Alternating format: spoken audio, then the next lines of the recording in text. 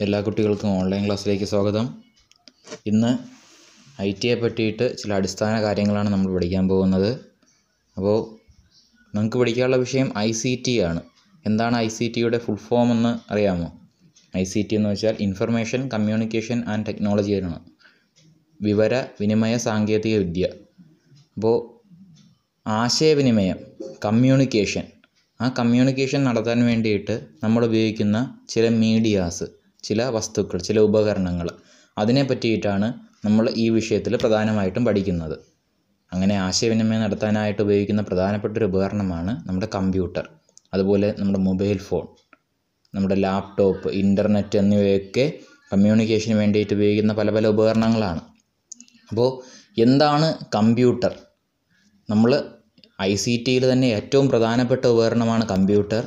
നിങ്ങൾ കൊച്ചു ക്ലാസ്സുകളിൽ പഠിച്ചിട്ടുണ്ടായിരിക്കും. എന്താണ് computer? Computer computer is an electronic device which is used for arithmetic calculations and logical operations നമുക്കങ്ങനെ പറയാം. അതിനെയാണ് കമ്പ്യൂട്ടർ എന്ന് പറയുന്നത്. അപ്പോൾ എന്താണ്? കമ്പ്യൂട്ടർ എന്ന് വെച്ചാൽ ആ ചില കണക്കുകൂട്ടലുകൾ ചെയ്യാൻ വേണ്ടിയിട്ടും നമ്മൾ കൊടുക്കുന്ന ചില പ്രവൃത്തികളൊക്കെ ചെയ്യാൻ വേണ്ടിയിട്ടൊക്കെ ഉപയോഗിക്കുന്ന ഒരു ഉപകരണമാണ് കമ്പ്യൂട്ടർ എന്ന് പറയുന്നത്. നമ്മൾ കമ്പ്യൂട്ടറിന് മറ്റൊരു പേരിട്ട് വിളിക്കും. കമ്പ്യൂട്ടർ സിസ്റ്റം എന്തുകൊണ്ടാണ് അങ്ങനെ വിളിക്കുന്നത്? കമ്പ്യൂട്ടർ സിസ്റ്റം എന്ന് വിളിക്കുന്നത്. കമ്പ്യൂട്ടർ ഒരു ഉപകരണമല്ല. ഒന്നിൽ കൂടുതൽ ഉപകരണങ്ങൾ ചേർന്ന ഒരു യൂണിറ്റാണ് കമ്പ്യൂട്ടർ എന്ന് പറയുന്നത്. ഈ ഓരോ ഉപകരണത്തിനും അതിന്റേതായ ഡ്യൂട്ടി ഉണ്ട്. അപ്പോൾ അങ്ങനെ ഓരോ ഉപകരണത്തിനും അതിന്റേതായ ഡ്യൂട്ടി ഉണ്ട്. അതെല്ലാം കൂടി നമുക്ക് എന്ത് കാര്യമാണോ ചെയ്യേണ്ടത് അതിന് വേണ്ടിയിട്ട് ഉപയോഗിക്കുന്നു. ഒരുപാട് ഉപകരണങ്ങൾ നമുക്ക് ചെയ്യ നമ്മൾ ഉദ്ദേശിക്കുന്ന പ്രവൃത്തി നമുക്ക് വേണ്ടിയിട്ട് ചെയ്തു തരുന്നു അതാണ് കമ്പ്യൂട്ടറിൽ നടക്കുന്നത്. അപ്പോൾ ഒരുപാട് ഉപകരണങ്ങൾ ഒരു ലക്ഷ്യത്തിന് വേണ്ടിയിട്ട് പ്രവർത്തിക്കുന്നത് കൊണ്ട് നമ്മളതിനെ കമ്പ്യൂട്ടർ സിസ്റ്റം എന്ന് വിളിക്കും. അതുകൊണ്ടാണ് കമ്പ്യൂട്ടർ സിസ്റ്റം എന്നതിനെ പറയുന്നത്. അപ്പോൾ നമ്മളിപ്പോൾ പറഞ്ഞതിന്റെ അടിസ്ഥാനത്തിൽ എന്താണ് കമ്പ്യൂട്ടർ എന്ന് ചോദിച്ചാൽ മറ്റൊരു രീതിയിൽ നമുക്ക് പറയാം. What is computer computer is interconnected connection of different devices which work together for a particular purpose ഒരു പ്രത്യേക ലക്ഷ്യത്തിന് വേണ്ടിയിട്ട് ഒരുമിച്ച് പ്രവർത്തിക്കുന്ന വ്യത്യസ്തകരമായിട്ടുള്ള ഉപകരണങ്ങളുടെ കൂട്ടമാണ് കമ്പ്യൂട്ടർ. അങ്ങനെയും നമുക്ക് കമ്പ്യൂട്ടർ എന്താണെന്ന് പറയാം. അടുത്തതായിട്ട് നമ്മൾ കമ്പ്യൂട്ടറിന്റെ പ്രധാനപ്പെട്ട രണ്ട് ഭാഗങ്ങളിലേക്കാണ് പോകുന്നത്. ഏതൊക്കെയാണ് കമ്പ്യൂട്ടറിന്റെ പ്രധാനപ്പെട്ട രണ്ട് ഭാഗങ്ങൾ? അപ്പോൾ നിങ്ങളുടെ മനസ്സിൽ ഇപ്പം വന്ന് കാണും ചിലരുടെ മനസ്സിൽ വന്ന് കാണും ഇൻപുട്ട് ഡിവൈസ് ചിലരുടെ മനസ്സിൽ ഔട്ട്പുട്ട് ഡിവൈസ് വന്ന് കാണും. അങ്ങനെയൊക്കെയാണ് നിങ്ങൾ വിചാരിച്ചിരിക്കുന്നത്. എന്നാൽ പ്രധാനമായിട്ടും കമ്പ്യൂട്ടറിന്റെ രണ്ട് ഭാഗങ്ങൾ എന്ന് പറയുന്നത് ഹാർഡ്വെയറും മറ്റൊന്നേതാണ്? അതെ സോഫ്റ്റ്വെയറുമാണ്. ഹാർഡ്വെയറും സോഫ്റ്റ്വെയറുമാണ്. അപ്പോൾ കമ്പ്യൂട്ടറിന്റെ പ്രധാനപ്പെട്ട രണ്ട് ഭാഗങ്ങളാണ് ഹാർഡ്വെയറും സോഫ്റ്റ്വെയറും. എന്താണ് hardware? Those devices that we can touch see and felt are called hardware അപ്പോൾ കമ്പ്യൂട്ടറിലുള്ള ചില ഉപകരണങ്ങൾ അതിനെ നമുക്ക് കാണുവാനും തൊടുവാനും അറിയുവാനും സാധിക്കും. അത്തരത്തിലുള്ള ഉപകരണങ്ങളെയാണ് എന്തെന്ന് വിളിക്കുന്നത്? ഹാർഡ്വെയർ എന്ന് വിളിക്കുന്നത്.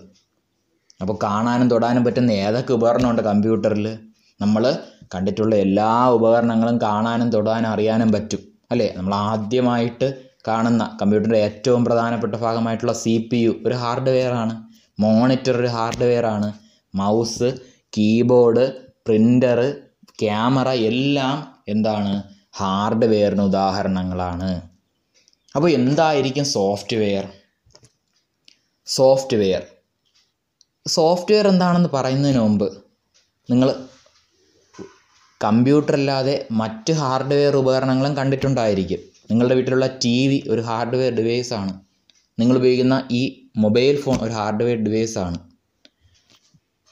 ലാപ്ടോപ്പ് അങ്ങനെയുള്ള പല പല ഹാർഡ്വെയർ ഡിവൈസുകളുണ്ട് പക്ഷേ നമ്മൾ ഈ ഫോണ് തുറന്ന് ഉപയോഗിക്കുന്നു. അപ്പോൾ നമ്മൾ അതിനകത്ത് കാണുന്ന ചില കാര്യങ്ങളുണ്ട്. അല്ലേ? നമ്മൾ ഫോൺ തുറന്ന് അത് ഉപയോഗിക്കുമ്പോൾ അതിനകത്ത് നമ്മൾ വാട്സാപ്പ് കാണും യൂട്യൂബ് കാണും ഫേസ്ബുക്ക് കാണും ഇന്റർനെറ്റ് നൽകുന്ന പല പല ഫെസിലിറ്റീസ് കാണും ഗെയിമുകൾ കാണും. നിങ്ങളതിനെയൊക്കെ നിങ്ങൾ എന്ത് ഫോണെന്നാണ് ഇതിനെ വിളിക്കുന്നത്? നിങ്ങൾ ഉപയോഗിക്കുന്ന ഫോണിനെ നിങ്ങൾ ആൻഡ്രോയിഡ് ഫോൺ എന്നാണ് വിളിക്കുന്നത്. അപ്പോൾ നിങ്ങളുടെ ഫോണ് ഒരു ഹാർഡ്വെയർ ആണ്. അതിന് അകത്തുപയോഗിക്കുന്ന നിങ്ങൾ ആ കാണുന്ന കാര്യങ്ങളെല്ലാമാണ് സോഫ്റ്റ്വെയർ എന്ന് പറയുന്നത്. അല്ലെങ്കിൽ സോഫ്റ്റ്വെയറിന്റെ ചില ഭാഗങ്ങളാണ് നിങ്ങളാ കാണുന്നതെല്ലാം. അപ്പോൾ നിങ്ങൾ ഉപയോഗിക്കുന്ന മൊബൈൽ ഫോൺ നിങ്ങൾ പറയുമല്ലേ ആൻഡ്രോയിഡ് ഫോൺ ഈ ആൻഡ്രോയിഡ് എന്ന് പറയുന്നത് സോഫ്റ്റ്വെയർ ഉദാഹരണമാണ്. അതിനകത്ത് നിങ്ങൾ കാണുന്ന ആ സോഫ്റ്റ്വെയറിന്റെ ആ ആൻഡ്രോയിഡിന്റെ ഭാഗങ്ങളാണ് നിങ്ങൾ ഉപയോഗിക്കുന്ന ഈ വാട്സാപ്പും നിങ്ങൾ ഉപയോഗിക്കുന്ന ഫോണിനകത്തുള്ള സെറ്റിങ്സും യൂട്യൂബ് ഗെയിമുകൾ അങ്ങനെയുള്ളതെല്ലാം. അപ്പോൾ അതിനെയാണ് സോഫ്റ്റ്വെയർ എന്ന് പറയുന്നത്. ഹാർഡ്വെയർ എന്താണെന്ന് നമ്മൾ പറഞ്ഞു കഴിഞ്ഞു. അപ്പോൾ നമുക്ക് സോഫ്റ്റ്വെയർ എന്താണെന്ന് എങ്ങനെ പറയാം? A set of instructions that help the working of a computer system ഒരു കമ്പ്യൂട്ടർ സിസ്റ്റത്തിന്റെ പ്രവർത്തനത്തിന് ആവശ്യമായിട്ടുള്ള നിർദ്ദേശങ്ങളെയാണ് സോഫ്റ്റ്വെയർ എന്ന് പറയുന്നത്.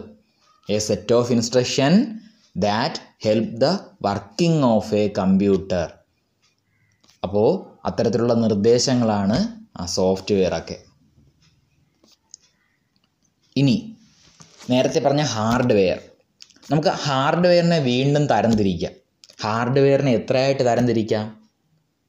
ഹാർഡ്വെയറിനെ പ്രധാനമായിട്ടും നാലായിട്ട് തരംതിരിക്കാം. നിങ്ങൾക്ക് കൊച്ചിലെ പഠിച്ചിട്ടുള്ളതായിരിക്കും ഇൻപുട്ട് ഉപകരണങ്ങൾ ഔട്ട്പുട്ട് ഉപകരണങ്ങൾ സ്റ്റോറേജ് ഉപകരണങ്ങൾ processing unit input devices output devices storage devices processing unit എന്നാൽ നമ്മളിത് ഇനി പറയുമ്പോൾ ഈ ക്രമം ഒന്ന് മാറ്റും. ഇന്ന ക്രമത്തിൽ പറയണം. നമ്മൾ ആദ്യം പറയേണ്ടത് input devices processing unit storage devices output devices അങ്ങനെ വേണം പറയാൻ. എങ്ങനെയാണ്? Input devices processing unit storage devices output devices അങ്ങനെ പറയുന്നതിനൊരു കാര്യമുണ്ട്.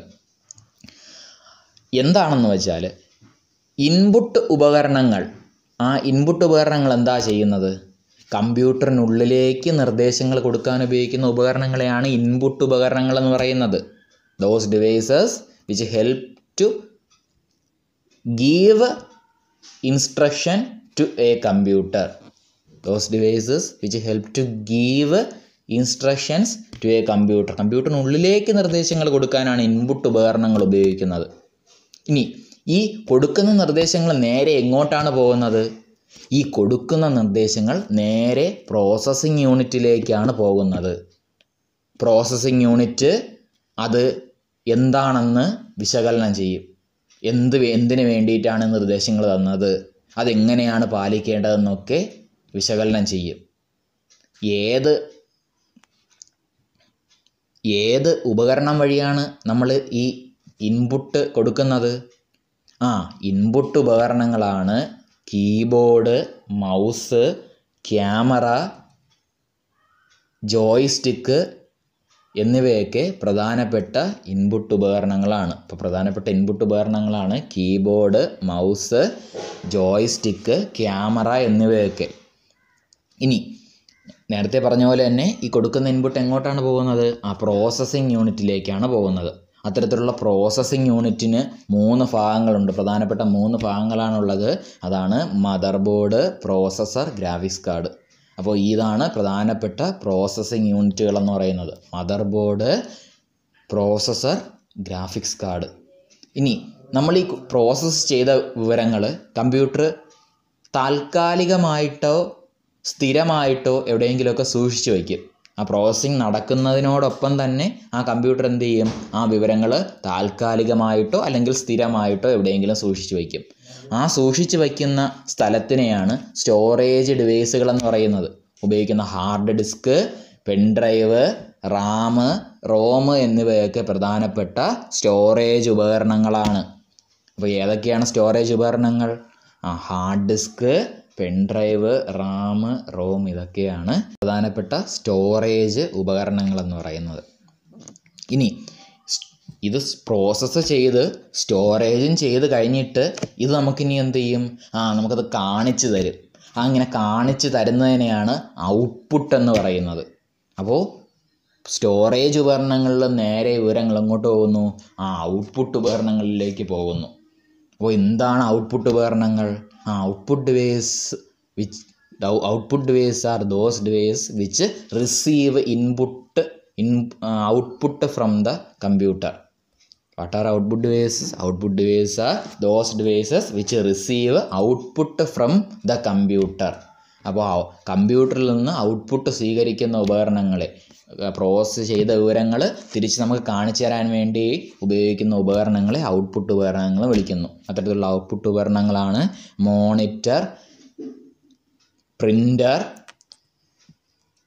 എന്നിവയൊക്കെയാണ് പ്രധാനപ്പെട്ട ഔട്ട്പുട്ട് ഉപകരണങ്ങൾ. അപ്പോൾ ഔട്ട്പുട്ട് ഉപകരണങ്ങൾ ഏതൊക്കെയാണ്? മോണിറ്റർ പ്രിന്റർ സ്പീക്കർ ഇതൊക്കെയാണ് പ്രധാനപ്പെട്ട ഔട്ട്പുട്ട് ഉപകരണങ്ങൾ. പിന്നെ നമ്മളിപ്പോൾ സാധാരണയായിട്ട് ഉപയോഗിക്കുന്ന എൽ സി ഡി പ്രൊജക്ടറുണ്ട് നമ്മൾ ഏതെങ്കിലും ഒരു സ്ക്രീനിൽ വലുതായിട്ട് ഉള്ള കാര്യങ്ങളൊക്കെ കാണിച്ചു തരുന്ന പ്രൊജക്ടർ തിയേറ്ററിലൊക്കെ പോയാൽ നമ്മൾ കാണുന്ന പ്രൊജക്ടർ അത് ഒരു പ്രധാനപ്പെട്ട